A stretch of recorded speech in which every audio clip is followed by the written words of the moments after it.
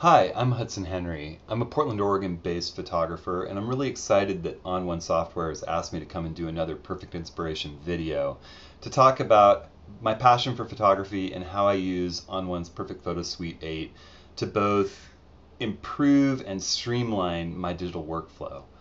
I've always been inspired by a love of adventure for the great outdoors, for, for going out and having epic mountain climbing, skiing, travel adventures, and bringing back photos of the people, places, and animals that I encounter along the way.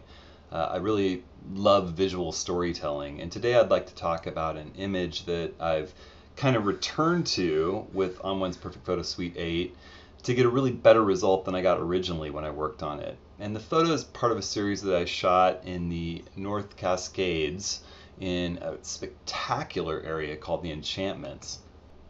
My cousin Don Bevan and I spent three nights in this amazing granite lake basin. It's a high alpine chain of lakes, and it's kind of a difficult climb to get up in it. We, we went in the fall to enjoy the, the larch trees, which are these amazing deciduous conifers it's a lot like a broadleaf tree that changes colors and loses its leaves in the fall, except that they're these golden, soft uh, pine trees. And they're just light the landscape beautifully. It's a steep trail up in there. You pass through these just amazing, rugged granite landscapes and, and into these just bigger than life lake basins. If you're really fortunate, like we were, you'll encounter a really mellow goat and maybe her baby to photograph. And the larch trees just light the landscape. We were fortunate enough to have a lot of different weather. I remember this particular morning, the there was this gap in in the cloud at dawn, and I was just waiting for the sun to come up through that gap, and I just had a couple of seconds where the light came backlit through there and hit these tamarack trees and just lit them on fire. It literally lasted for just just a couple of minutes uh, we went around and did some climbing. We climbed up this peak, Little Annapurna, and got some spectacular viewpoints and, and views out over Mount Stuart and some of the rest of the North Cascades and just really enjoyed our time in there. Had had some really nice weather towards the end of the trip. It, it, felt like we shouldn't be leaving when we did. And my final night in the lake basin, I had this composition sort of in mind of this peak reflecting in this little lake, and light cooperated, and I got the image that I'd really been wanting. And as I was packing up, I, I saw that the sky was just clearing completely, and I thought, geez, we should not be leaving. The weather's just getting amazing. And but the next morning I woke up and it was pretty clear that winter was setting in and it was time to get out of the enchantment. So we bundled up and headed down the trail. But the last thing I did that last night before going to bed was take one last shot with my D700 of the stars reflecting in the lake with that peak that I was out photographing. And until now, I haven't really found the time to go in and do all the work in Photoshop to, to pull the the the shadows out of this image without creating a lot of noise in the shadows and and you know I've been I've been meaning to but I just haven't gotten around to it and with Perfect Photo Suite 8 and its streamlined workflow and the ease with which I've been editing my images and, and pulling contrast out of them I thought I'd go in play with my new toolkit and see what I could do with this image. The way that I approach my raw processing is to do the very basic edits color, tone, but not not deep level editing in Lightroom and then finish the images in Perfect Photo Suite 8. So I'm going to go into the develop module here and I've kind of got this prepared a little bit. I've already done some edits to this image and I've created virtual copies of it to do those edits on which which you can do in Lightroom by actually just right clicking or control clicking on the Mac and choosing create virtual copy. In this case I've already created a couple and I've gone through and I've done my basic edits. I've, I've, ramped up the exposure a little bit. I've boosted the contrast some. I've kind of pulled the highlights down. I've set my black point and my white point where I wanted them. I always find it handy to hold the option key as I move these sliders around. You can see the stars are kind of blowing out. Um, I, I like it right about there. And then the same thing with shadows. I can see where am I starting to, to lose my shadow detail. I want to kind of maximize my contrast without really losing my shadows. And in this particular image, that's about the end of our tone and color editing.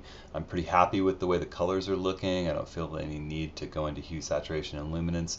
And I think we've got the tones at a good starting point to go in and, and finish things up in Perfect Photo Suite 8. The only problem is that with an image shot at this ISO for this long a shutter speed with this much shadow detail, we're undoubtedly going to have some problem with noise. And Lightroom's an excellent place to address this. Um, it looks to me as if we've got a little bit more noise in the lake, in the deep shadows, than we have in the uh, mountain, in the details of the mountain and in the sky. Uh, it's a little bit more luminance noise in the sky and in the mountains, and it's a little bit more color noise in the shadows. And so in this particular image, I've already gone through and, and done some editing of the detail pane in Lightroom.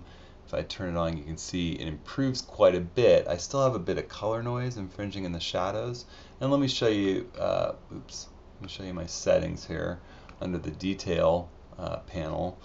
I've gone through and done some sharpening, and, and, I just I think that a perfect inspiration episode is not the place to go into a high level topic like sharpening. But I've gone through and done a bit of sharpening and some masking to keep the sharpening from really applying to the noise. And then I, have done some luminance noise reduction. Not a whole lot of color at this point, and, and I've really been targeting the mountain and the stars. You can see when I turn it off, you know, there's a lot more noise in the trees and the mountains and the stars when I turn it back on, we've got that, that pretty much solved, but there's still a bit of noise and color noise in the water. And what I've, I've got this idea to use perfect layers uh, in a way to blend two images, uh, the same image, adjusted two different ways in Lightroom. Uh, and so I've created another virtual copy of this image where I've gone in and really ramped up the luminance noise and the color noise reduction to really get rid of the problem in our water. Here you see we've got quite a bit of color noise going on, eh, but we've preserved most of the detail in the mountain and in the trees and in the sky. When I go in and I really ramp up the noise reduction enough to get rid of our problems in the water, it starts to really soften. It almost gets kind of a an impressionist look to this instead of a photographic look. Um, you know, and, and some might prefer that, but I would prefer the realism. So what I'm going to do is select both of these images, and I'm going to open them in perfect layers by choosing File in Lightroom, uh, Plugin Extras, and Open as Layers in Perfect Layers 8 and let's see what we can do about blending these two different noise reduction strategies one for the water and one for the sky.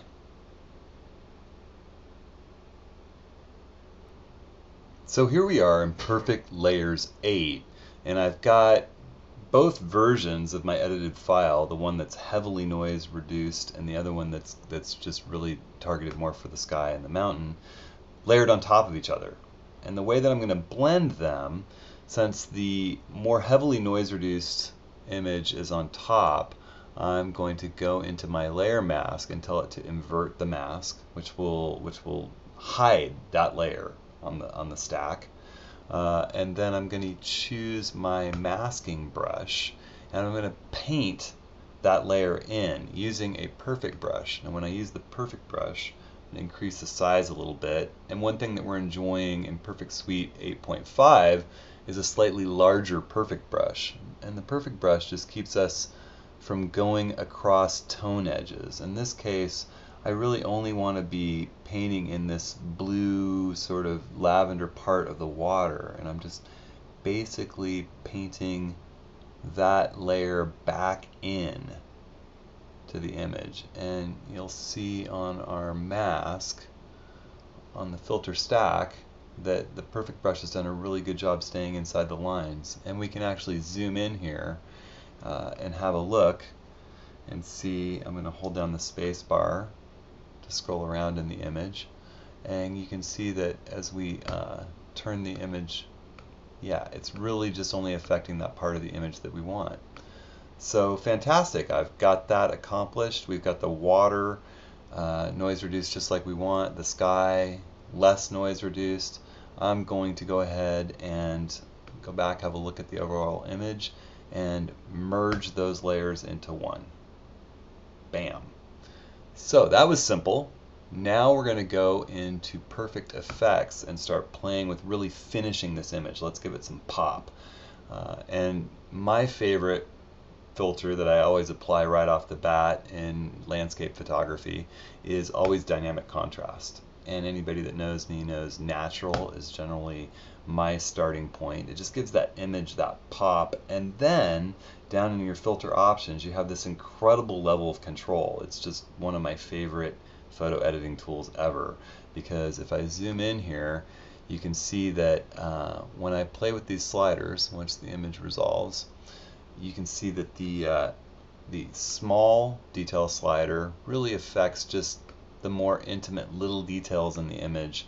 The medium slider affects the blockier portions, you know, the edges of the rocks, the trees, uh, and then the large detail slider really hits those big chunky details of the image. So you can really choose where you're adding your pop, your midtone contrast, your, your dynamic. It's a dynamic contrast tool, just like the title states.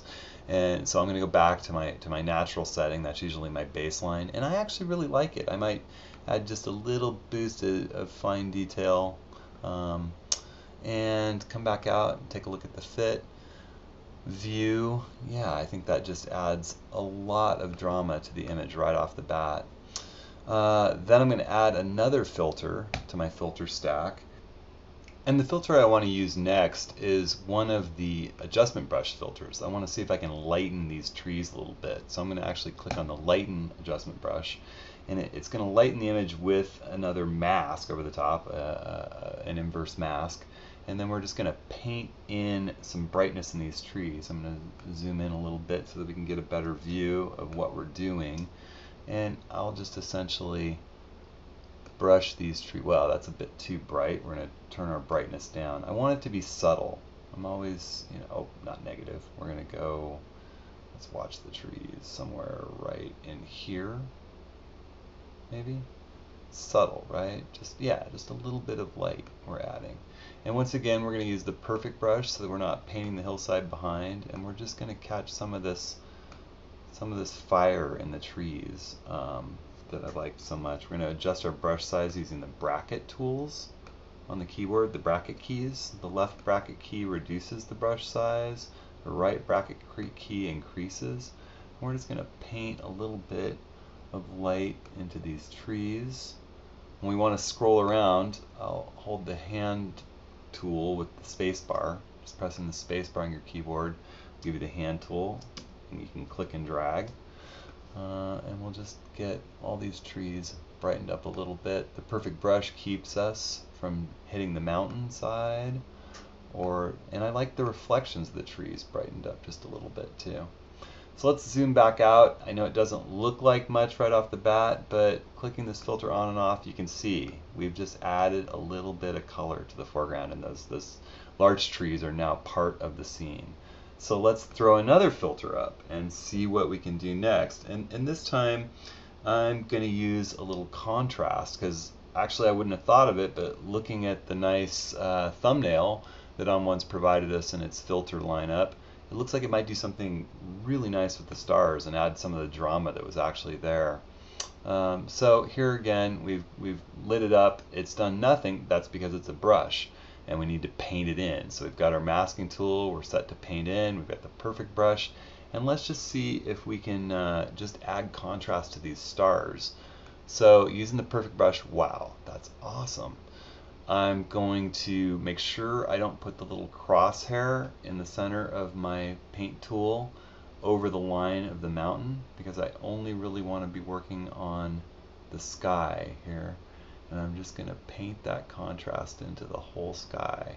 And wow, that's just like removing a haze that you didn't even know was there until you saw it. Fantastic. Alright, so that definitely has made a difference in our image. It's definitely added a lot of punch and interest. So the next thing, that we're going to add one more filter to our stack. And we're going to boost our shadows a little bit. The shadows are looking just a little bit uh, dark to me. So I'm going to go into the tone enhancer and scroll down through all the filters that we've got until I see uh, shadows lighter. And I'm going to add that filter to our stack. And I think that we're a little bit um, a little bit too bright right now. So I'm going to turn the shadows down to about, let's see, I'm just going to watch it as I go. Somewhere right in here. Yeah, 20 looks nice. You can see it's looking looking really good. And you know, I really I don't want to do this so much to the sky because we're losing some of that neat contrast we just added. So I'm going to go in here to the uh, to the contrast brush that we just added, and I'm going to go into the mask menu and copy its mask. Then I'm going to click back on the tone enhancer, our, our shadow lighten uh, filter, and I'm going to go to the mask menu once again and say paste mask. And now we have the same mask being applied, but it's being applied the opposite way that we want. So I'm going to go back into the mask menu one more time and invert the mask so that essentially we're taking the sky out of our adjustment. And I'm not real happy with what it's doing down in the water. I like what it's doing to the peak. I'm not so happy with what it's doing to the reflection. And so I'm just going to grab our masking brush one more time and I'm going to tell it that I want it to paint out instead of in. And we're going to leave its perfect setting on uh, and keep it rather big with the bracket key and we're just going to paint that effect right out of that water. Yeah, there we go. So we kind of cheated a little bit by copying and inverting the layer mask that we used before to get the sky out of the image. But we still have to do a little bit of the, uh, the hard work brushing the water back out of it. But with our perfect brush, it's really not that hard work. I kind of think it added just a little bit of noise in the water shadow of the, the water's reflection of the mountain. So I'm going to paint that out too. And wow, I'm really liking what we're getting here. So the last thing I think I'll do, and that I commonly at least check, um, is what the effect of a little subtle vignette would be. I, I, know the mountain is the centerpiece of our image, and I I love the big softy vignette, and I love the subtle vignette in uh, Perfect Effects 8. Uh, I don't think the I think the big softy is probably a little bit much in this case, but I think the subtle, yeah, it just draws our attention to the mountain and its reflection in the water. And I am really liking what we've got here. So we take a look. We liked the image as I edited it in Lightroom. I mean, I did. I thought it was a cool image look what we've got going on with just a few minutes work in Perfect Photo Suite 8. Wow, that is a huge and dramatic difference. All we've got to do is hit apply and it will apply the effect and save our image. And if we go back into Lightroom, I have that image right here. Let's take a look at it at uh, fit view in Lightroom and have a look at the whole image. And actually I like to, to take a look in the library module and, and look at my Lightroom edit. We're going to select that virtual copy that we did the light noise reduction on and, and go into the survey mode. And I'm going to hold the shift and tab key at the same time to really get a full screen look at just what we've done so easily in Perfect Photo Suite 8 it is such a fun set of tools to use to just get that pop to finish the image. So, an inspirational place and an inspirational set of tools from ON1. Again, I'm Hudson Henry, and I really thank you for taking the time to watch this Perfect Inspiration episode. And thanks again to ON1 for having me on.